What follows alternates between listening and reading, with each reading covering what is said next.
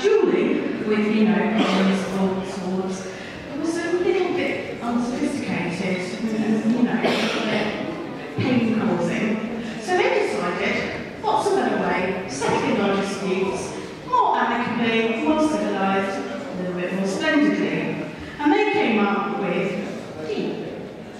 And rather than um, throwing it over each other, causing great mess to splendid outfits, they decided that along with the tea, we should include biscuits, because they're nice. So, what happens in a tea duel?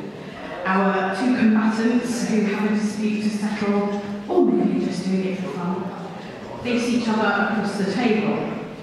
On the table in front of them, they have a mug of what is known as the Brew Marshal. Now, the Brew Marshal has been lovingly prepared by my potmaster here, Alan.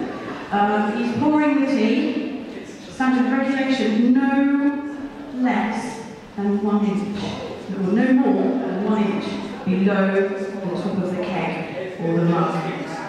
Um, also, the brew has to be brewed to the regulation temperature, which is um, some numbers that I can't 85, 85 degrees. So that's all been prepared by my potmaster. I am your technical mistress today. My name is Michelle. Nice to meet you all. Um, so, you face yourself, face each other across the table. Select your weapon from the arrangement. I've invented a new arrangement today. I don't know if you can see. I'll tip, I'll tip it and try not to A for a sign. So you select, there are a number of different arrangements which we shall create and arrange today, some of which have names, some of which don't. And then opponents face each other across the table. Would you like to demonstrate, Master? And you select your weapon. He's got prepared uh, earlier. And you ready your weapon. Okay, assuming the dunking position. Then, on command, you dunk your biscuit. So, are you ready? On command, dunk. Two, three, four, withdraw. And then you'll see, with great skill, he's holding his biscuit and watching. Now, there will be two people this. Here we have, we've demonstrated perfect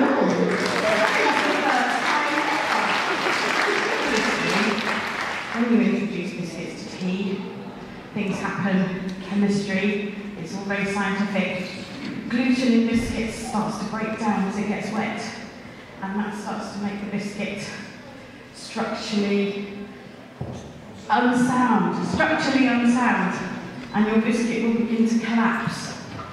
Sometimes the biscuit will fall onto the table. We call that a splodge. Is that a splodge? Yes, a splodge. If it falls on the nose, it's flat. it's a splat. Stressful day. It's a splat if it splats on the table. If it falls into your tea, it is a splosher. For obvious reasons. If it, now this is the worst case scenario, it falls on your clothing. That's a splodge. But a splodge doesn't mean you're dead. It means you're injured because you're going to have to fight another day. Stains eventually come out. So a splodge beats a splat or a splash, but a full nom beats everything else. As your chief mistress, final decision is up to me. So obey. Bribes may be accepted. And whoever wins the first round, um?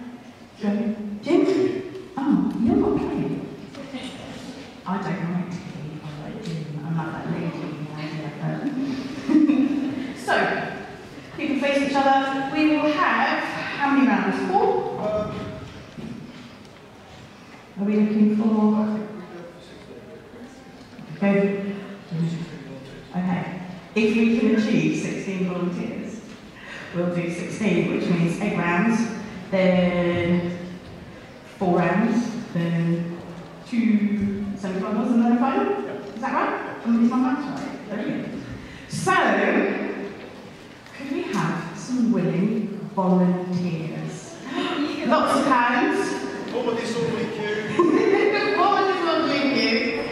And give your names to the pot master uh, in case of um, hot tea slapping.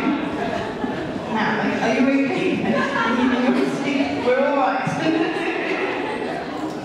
so, shake hands and let our um, contestants introduce themselves. Your name, lovely lady. I'm Lady Helena. Lady Helena, lovely to meet you. And sir, I'm Dr. Campbell. Dr. Campbell, he sounds a little bit sinister. I'm going to keep an eye on you. So, we do have personal protective equipment on the table if you would like to avail yourself, cover up any, or, you know, some people just think, hey, I'll wear my injuries with pride. So, it's entirely up to you, but do help yourself to napkins and so forth to um, cover up. We have uh, two. Sorry, Dr. Yeah. I've, I've done that. So, ready? Professor? Do you a bit? Right. Ladies first, for one minute? Oh, he's a gentleman. Sound sinister, but he's a gentleman. Sorry. Put your weapon. We do have usually the rule. First weapon touch is the weapon go. Hygienic as well. So, ooh. So you've readied your weapons and on command, dunk, two, three, four, withdraws. And we've got, shall we go, we've got this regulation two thirds dunked. Concentration here. A little bit shaky. Ooh, We're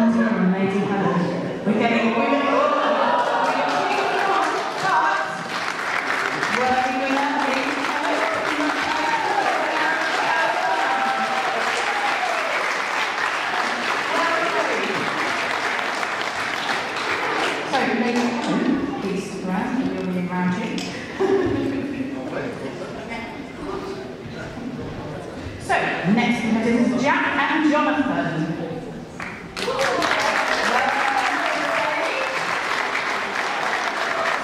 once again, mind the Martian, he gets in the way everywhere. So, that it. Right, so, who is Jack and who is Jonathan?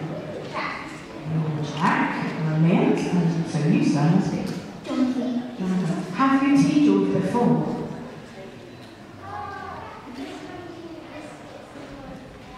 Oh, we've had, we've got, we've got a, a, a competition um, contestant here, so he's been practicing. You haven't done it before, but you never know. It's not always the practice. Atmospheric conditions can affect the biscuit structure. Very scientific.